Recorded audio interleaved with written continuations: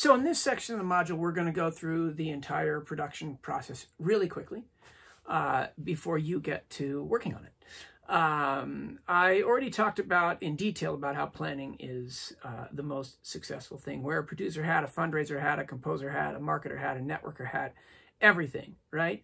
I can't emphasize emphasize this enough that just the fact that you have it all planned out as a musician will shock people and get all sorts of people more interested in you than you would otherwise because most musicians are not organized at all.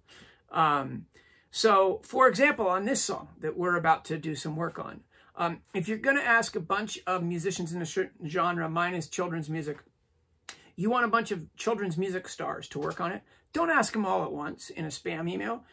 I asked the two people I knew would say yes first, right? I got them on board. Then I email the third person or call them and say, hey, X, Y, and I are doing a climate change song. All of a sudden, it seems like something the cool kids are doing. And that person says, okay, I'll do it. And then you keep going from there. That's how you get people involved uh, uh, personally. And there's always a next person. So do not worry about the people who say no. There are certainly people who said no. Uh, the only crucial person to your project is you. I hear this mistake all the time where somebody pitches a project by saying, I'm working with Bruno Mars's engineer on whatever. All you just told me is that you know you're not important. And you are important. You, you just devalued yourself to the engineer. You're the only crucial person in your project, right? And act that way. Throw in the Bruno Mars crap afterwards. That's impressive. But only after the project's about you people actually want the project to be about you if they're going to work on it. Um, so um, I will also tell you uh, just random planning elements include your image, right? When I do Dr. Noize albums, I always have really awesome looking 3D animated graphics because that communicates to people. Everybody knows that 3D animated stuff costs a lot of money. They're like, oh, this is a this is a high-end production. Um, that's because that's how I'm trying to position myself. Um, and that's the kind of music that I want to do for kids. If I was a punk artist, there's no way in hell I would have artwork like that. Nobody wants to work with a well-funded punk artist. Nobody wants to listen to well-funded punk music. So think about what your image is before you even start, right? Um, now, we're going to get to songwriting. Um, I personally, because I'm an obsessive planner, I my favorite instrument is my brain. Um, I generally don't sit down and start recording a demo or a song until the song's basically done in my head. That doesn't mean it won't change when I'm tracking. It means it will change from a plan instead of I'm just making stuff up as I go. Now, there are different musicians who do different things. Uh, if I was a world-class jazz virtuoso guitar player, I might have a completely different approach. Um, so I'm not saying that's the right thing to do. Um, but it, it is useful. Um, it's certainly useful if you're managing studio time and production time and stuff like that. So I like to plan all my stuff. I like to do demos, MIDI demos of songs before I send them out to musicians. Uh, now we're going to get into the mix. All right, so now we are on my incredibly high-tech, shoving my iPhone on a tripod on my keyboard in front of my computer to show you the screen with iPhone sound. Uh, you're welcome. One day maybe I'll get all green screeny like Professor McGuire. But right now, this is what we got. So, recording the song, the first thing I would do if I were you in your situation is I would master a DAW. It should probably be Pro Tools because that's the DAW that's the standard in the industry and it's the one that we feature the most at CU Denver. Of course, having said that, I'm using Logic. It could be Logic. You can see it in front of you. It could be Live. It doesn't really matter which one it is. They're all really good. Just get really good at one of them. And for your student career, I think you should start with Pro Tools. Okay? But in Logic here, uh, I'm pretty good at Logic. Um, you can see there are a gazillion tracks in this. I always um, demo songs first. I actually did this about six months ago, and I was going to... Um, replace some of these with real instruments. I did, uh, it ended up then COVID hit. I did my own horn section with a bunch of saxophone parts. Here they are right here. Let's get this narrower. I did uh, the drums in Logic, which we'll talk about in a moment. Uh, the bass, I played guitar parts. I also had some unusual instruments like uh, the Turkish, I don't even know what this is called, but it's guitar-y. Uh, let's see. The Turkish oud lute, of course. Um, and I have some synth parts. And then all of these, right here in the middle, these are all vocals that I recorded to demo the song. And then up here is just tons and tons of vocal parts from all different artists. As I told you, I invited, what I did is I invited any professional children's musician to be a part of this.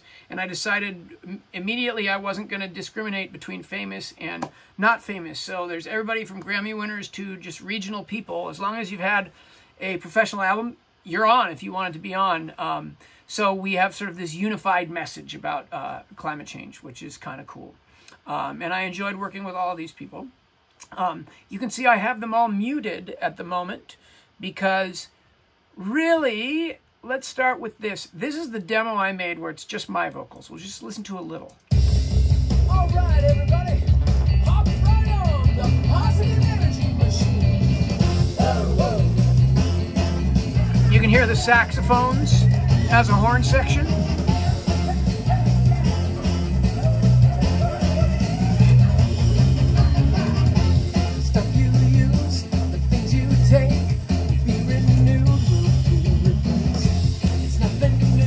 And all of these vocals are going to be replaced by different lead singers. In fact, they have been replaced up here. We just have them muted at the moment.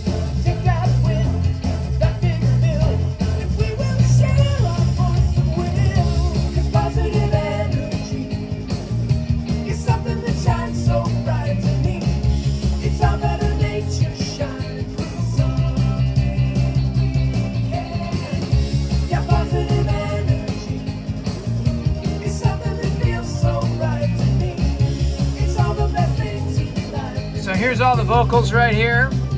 My sort of demo vocals.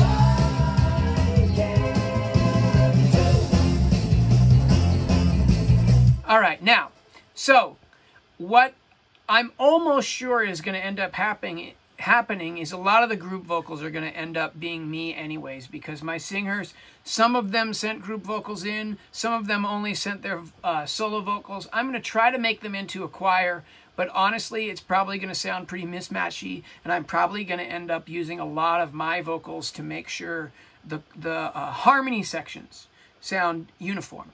Uh, but don't tell anybody. Um, so, but I will definitely use everybody's solo vocals. Now, the first thing after I record a bunch of tracks, and we, we talked in the last module about setting preamps and stuff, so we're not going to do all that. But the first thing I do is organize the tracks in a logical order so it's not misery when you have all of these tracks to figure out what the hell is going on. So I like to do it uh, because I'm sort of an old orchestral score guy. I sort of like to do it in order that it would be an orchestral score. So if you can see down here, car one, car two, car three, I've got the sound effects down there. Then I've got the drum kit. Here, let me make these a little bigger. I've got the drums, bass. I actually have two different kinds of basses. Then I have uh, keyboards, electric guitars. I have these uh, synth guitar things, some synth chords. Then I have the saxes up above, and then I start doing all the vocals. Here's my group vocals. Uh, and then up here, we get to all the other people's vocals who are muted at the moment. Um, whatever your system is, it, it, doesn't matter what it is, as long as you have a system so when you have all these tracks like this, it's easy for you to find what you're looking for. And I would add this, I've got some muted tracks down here that I don't need. So I'm going to go ahead and hide those. Um, we can, you can go, let's see, where is it? There. H, H, H, H, H, H. I'm going to hide all those. Then you hit this. And now they're not going to show up anymore. Okay? Um, let's check out, let's go sort of instrument by instrument here. Let's start with the drums. One of the really cool things in Logic is they have these amazing virtual drummers. And when I'm on a project like this where it ends up, you know what, I'm not even going to hire a drummer, I'll solo the drums. what I end up doing is doing a lot of programming. So it's not just the default of what they have. You can see in here, I've got these broken up into a lot of different bits. And you can actually see right there, I've changed uh, the parameters for here. When I select this, boom, you can see there's toms playing in this one, but there's not toms playing in this one. This is sort of uh, uh, sort of a drum lick, so I'll, we'll play right there.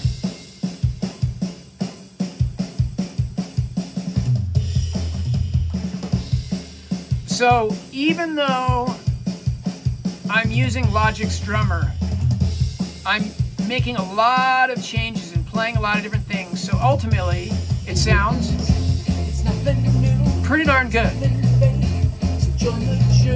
Now I've got I've got the Liverpool bass here. You can hear it sounds pretty good. And then in the chorus, I double it with this bass. Now it's out, okay? So actually I didn't double in the chorus, I doubled it at the end of the verse. I don't even know my own song. All right, so now with all the instruments, where did it go? There it is, okay. Now you can hear, I played electric guitar here, and I played what I call metal guitar there.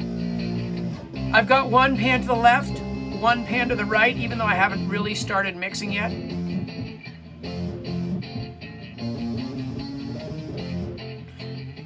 And I recorded both of those with my Line 6 Variax. So here it is with uh, all the instruments.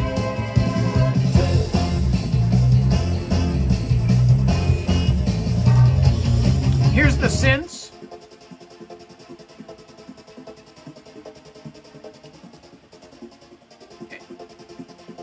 Take that out. Now, I'm going to fast forward to the bridge. In the bridge, I added this instrument. Instead of using electric guitar, I actually played uh, this Turkish lute and something called the guzheng. I'm sorry if I pronounced that wrong. Um, and it sounded pretty cool. Here's what they sound like. In the beginning, there was a splendid sky, and then came humankind. And then it's doubled here. And they built machines doubled octaves. And then it comes in in the guzheng. Again, apologies if I don't pronounce that correctly. Doubled the octaves there. And you can hear my actual guitar in the background. Uh, I've still got a real guitar in there. Right? One day humans decided and you can hear that's my narration, but eventually I'm going to replace it with Skidoo's narration, the rapper we talked about in the class. Now here, let's go over here. Here's all the saxes I recorded. Uh, if you happen to be sort of a jack of all trades on some instruments, maybe master of none, but jack of many, um, you can do a lot of your own recording. If not, it's a great idea to develop relationships with other students um, uh, and professionals who know how to play different things and you can trade off you know you can uh, help them with your engineering skills and they could play trumpet or or you can play bass and they can play sax or whatever. Um, i have found that there's a lot of creative things you can do. I generally for big projects uh, where i'm putting real money in i hire a awesome horn section. But when i don't have that money for a project like this one i'm trying to uh, do it for charity and not spend a lot I can be my own horn section. Here are six of my alto parts, and here's the horn section. It's just me on my alto.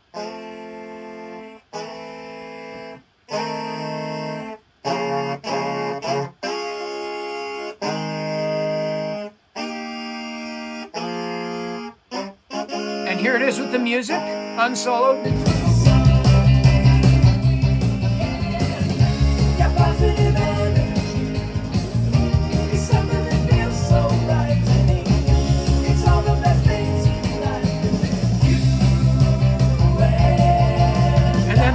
all the backup vocals right there. I'll probably end up using most of those.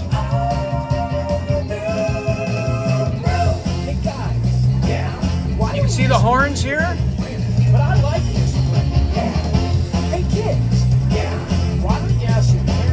Now, you may, you probably know about comping tracks already, but you can see here I've recorded several. Actually, I, I just used all four from one take right there.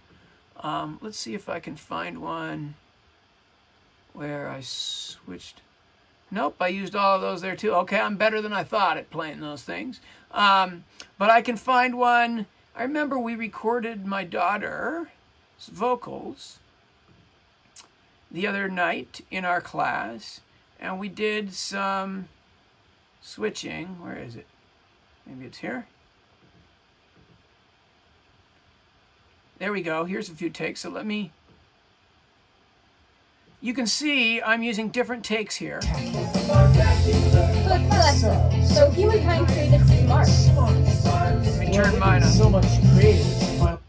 So this is our second take. They decided smarts were better than farts. It's very elevated uh, narration, as you can see. The third take, it goes up to there.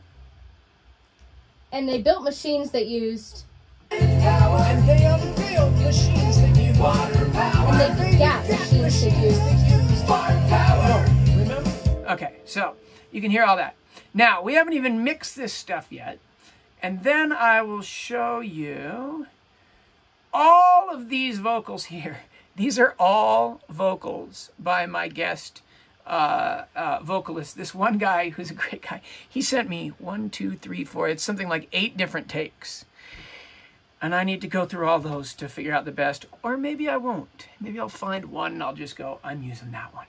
Um, but you can see these are all different vocalists. Let me zoom this out a little. Here we go. And I'm going to go through each one has a different mic. They, they all recorded in their own studios. So, for example, let's listen to Marsha's vocal.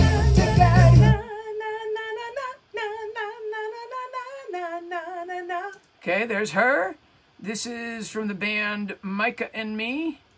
Let's see, he's only right there. Let's see what he's got. From that big stream and build a world so strong and clean. So you can hear totally different sound. That one has really high frequency. Frankly, it, it uh, the it doesn't sound as high quality as Marsha's, and I'm gonna have to try to mix those together so they sound like they're in the same song, which is gonna be the big challenge in this song. Let's go to um, uh, Lori Henriques here. She's an excellent Grammy-nominated uh, uh, sort of jazz pop singer for kids. Here's hers. We toot our dreams, kiss them goodbye. Actually, that's me singing hers. My bad. Let's see if I can find hers. That was the demo I made for her. Let's see if I can find. Here she is in real life. Lori and Lori. I have two of hers somehow. Let's see what I got. Okay, here she is. We toot our dreams, kiss them goodbye, and hardly ask why. So that one has a little different sound. Lucy Kalantari won the Grammy two years ago. She's an amazing singer. Let's see what she sounds like.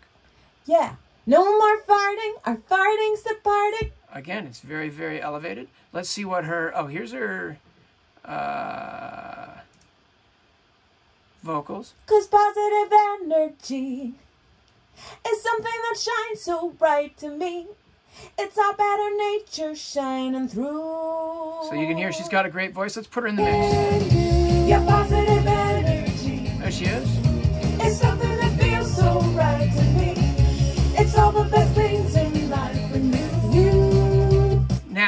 As you can see over here, I don't have any effects on any of these vocals yet. I don't have anything on this stuff.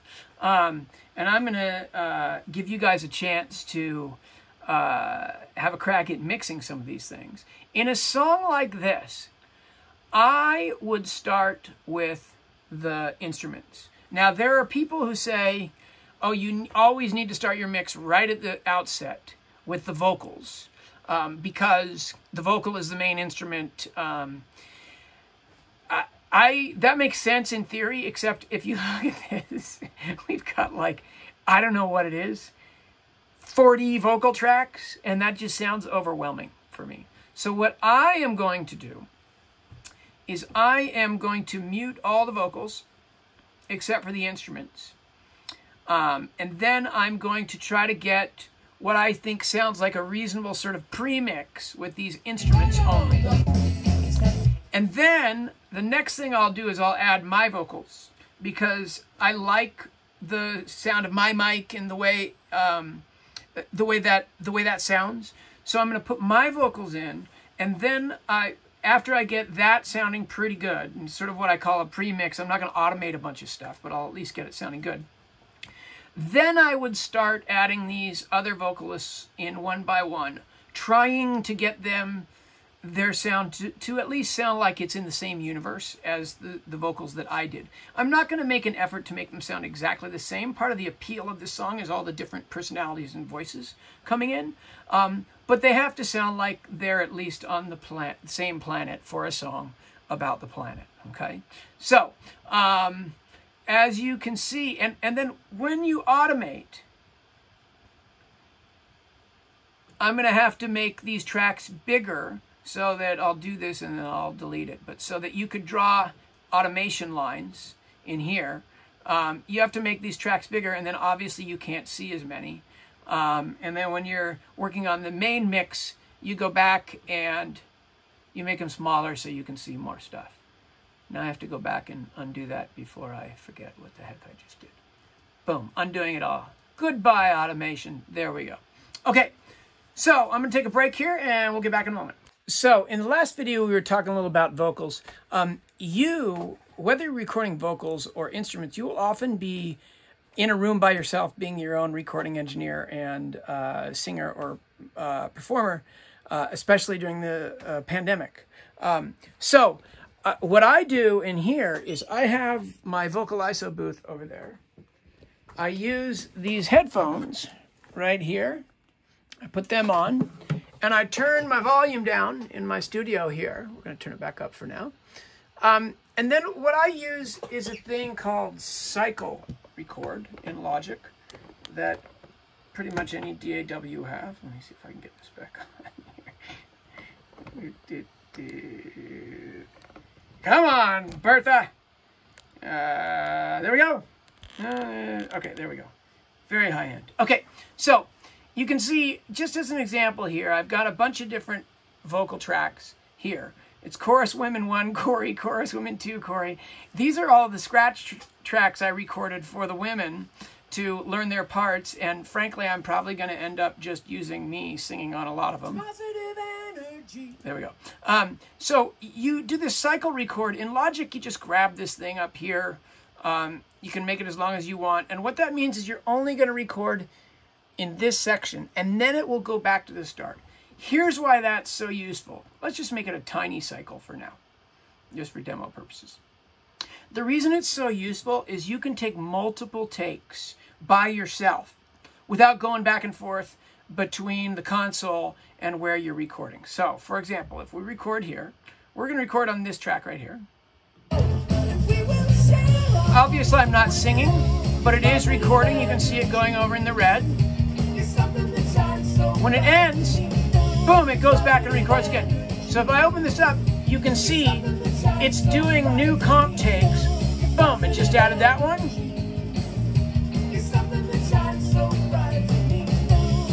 It keeps adding them. Okay, now, obviously, that's too, I'm going to I'm going to undo all that. Obviously, those are too short. So, but what you do is you start a measure early and you let it go. You sing the whole thing and then you make it go maybe a measure. That's way longer than I want. Let's start this over. Maybe a measure longer. And then you can just sing the whole chorus have an extra measure at the end, an extra measure at the start, and then you sing it again. What I like to do, if you look here at, at my takes, uh, let's find one with better takes. There's three takes, okay, you can see here, three full takes, one, two, three.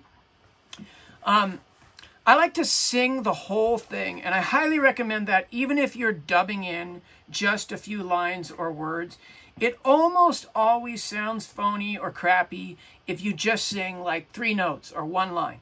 so it, what I tend to do is I you can see I did it here. I recorded this chorus three times in a row. I don't know why I just did these two here, but three times in a row. And then what I'll do is I'll go and I'll audition them line for line and hear which one is the best and put that one. It's positive energy. Now you notice actually I decided I sang all of this one fine, so I just kept one take. Let's see if I can find. Usually I'll switch. Oh, that one's only one take too. Uh, so I was better than I thought there. Let's try the. Okay, here's one. You can see in that one and in this. Here's one. Okay, let's try this one. You can see in this one, I thought these notes were the best. Then I popped up to that, popped down to that, popped to that, down to that. Every where it's blue is where you've opened up the window to that sound. So let's hear what it sounds like. You Take one, take two, take one, take two. Now I'll shut up and you'll hear it sounds like one take. You and I can do. Okay? So now if we unsolo that and put it with everything else, And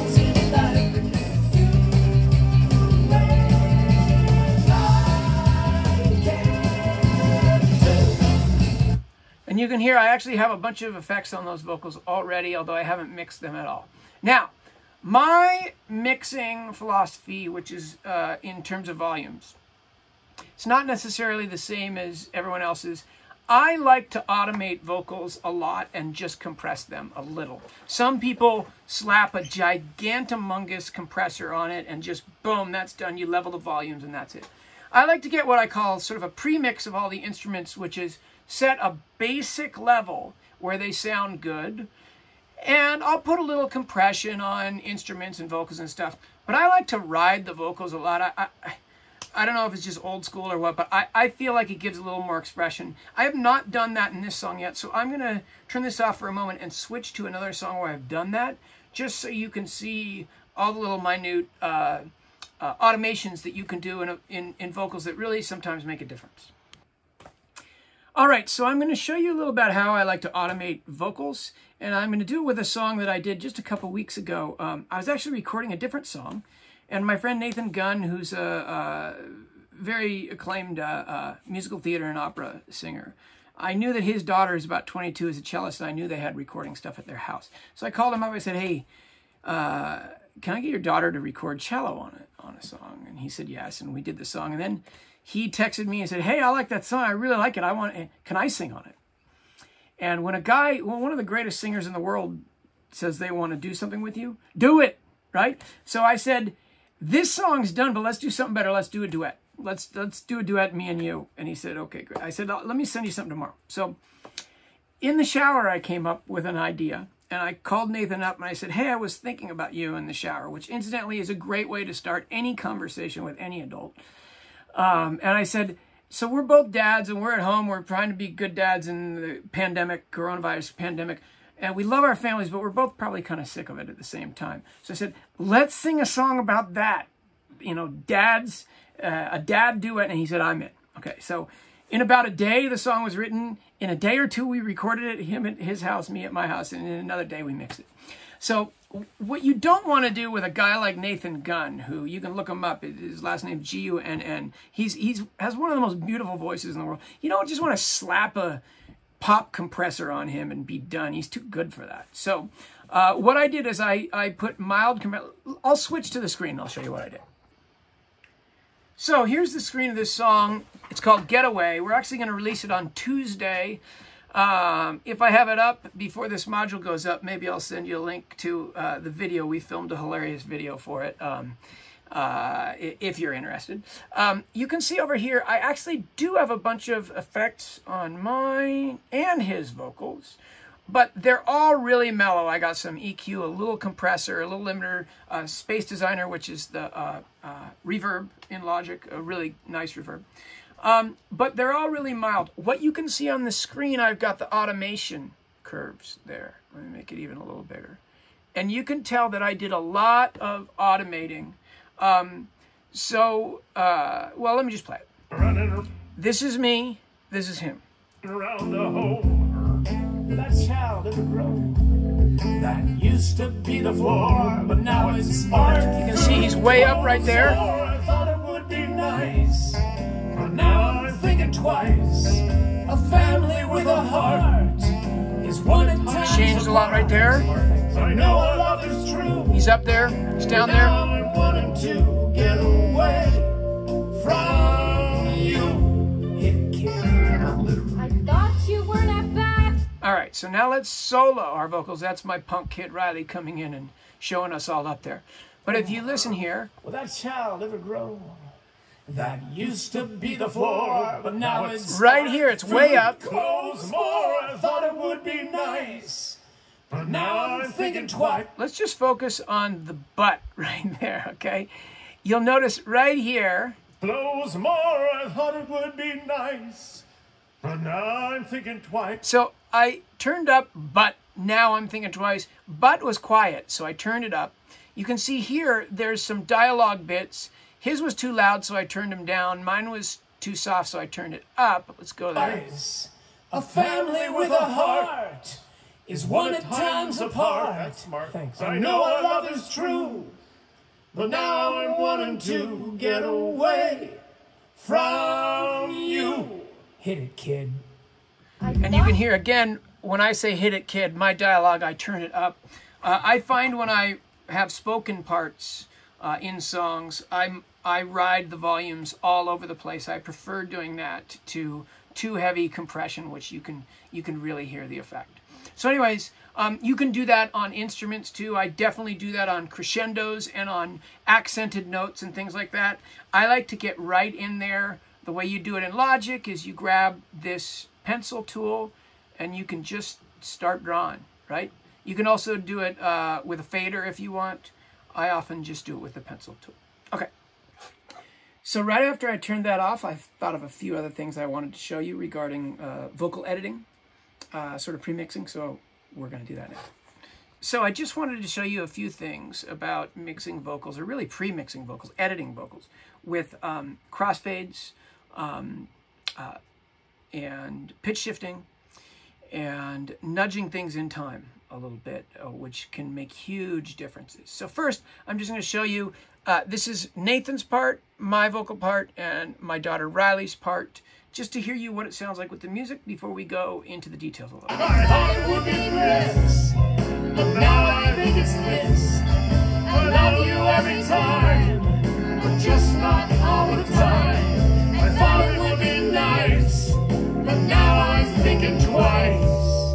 Okay, so that's what it sounds like. Now, if we go in here, you can see a whole lot of different types of edits.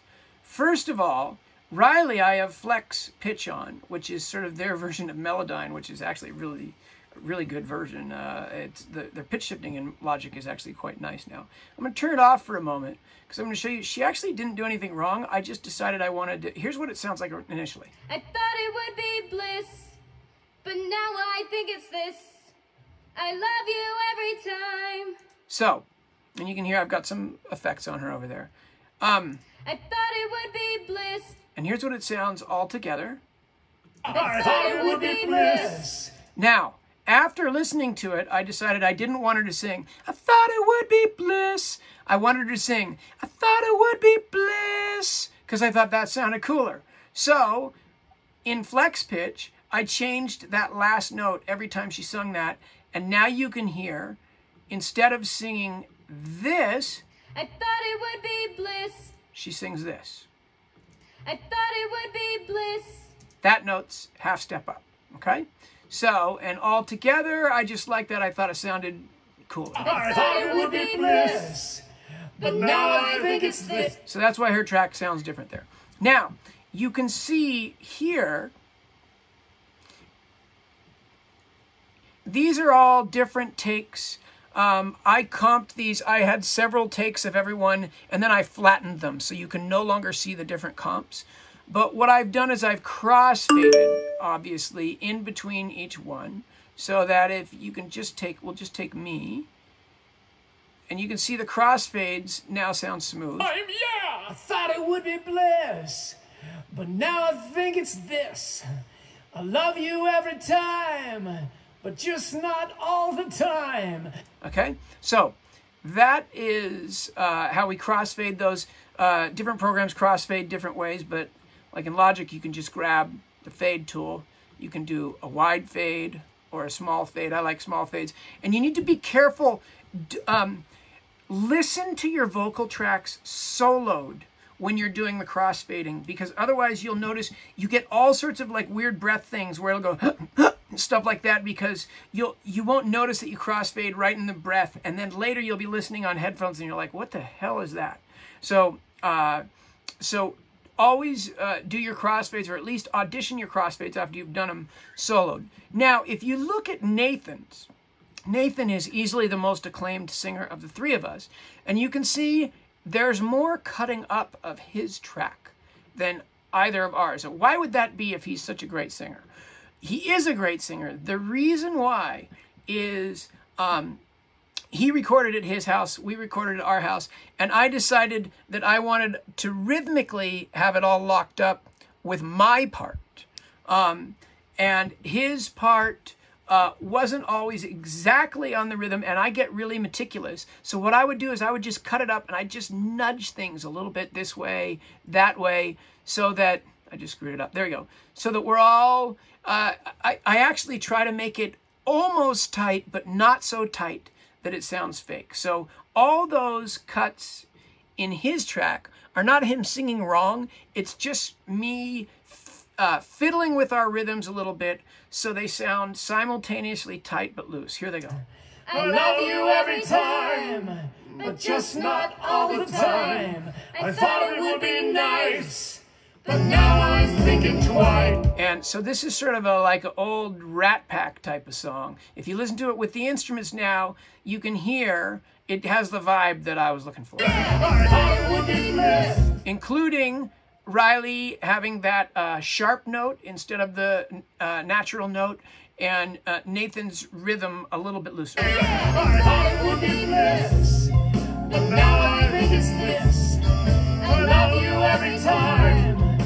just not all the time. I thought it would be nice, but now I'm thinking twice.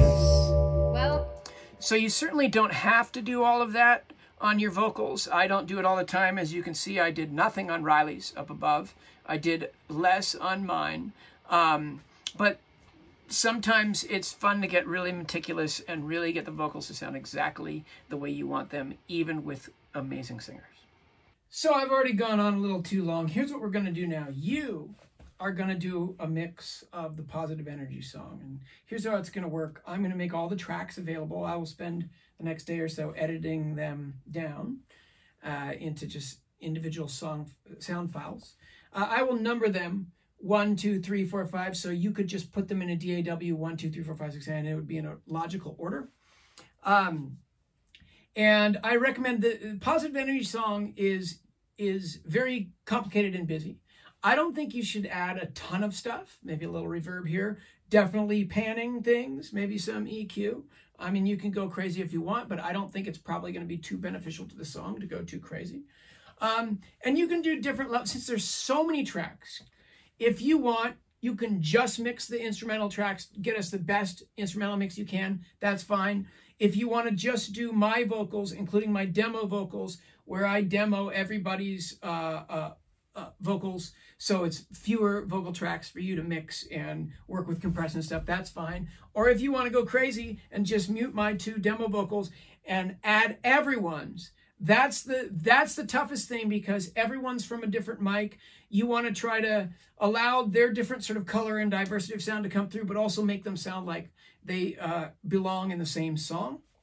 Uh, you can do that, and I'll I'll tell you this: anybody who comes up with good mix ideas for us, we might we, we might use it or base our ideas on some of the things you do. We might even take I might even ask you for your mix and say, hey, can I grab that and tweak it a little? And we might release it that way. Now, of course, if we did that, I would probably ask you to write something down saying you don't expect to get paid anything. None of us are getting paid for this. It's a charity song. We're planning on giving all the money to environmental uh, causes if there is any money uh, from it. But it would be great to get a credit as either an assistant engineer or an engineer, and maybe that would be something that would be uh, pretty fun, exciting, and in uh, as a student in the pandemic, that you actually got a credit on something with a bunch of uh, uh, pretty well-known Grammy winning musicians that others on a song. So I'm going to uh, make those files available, write it up for you. And if you guys have any questions or anything, you know how to email me or contact me. Thanks.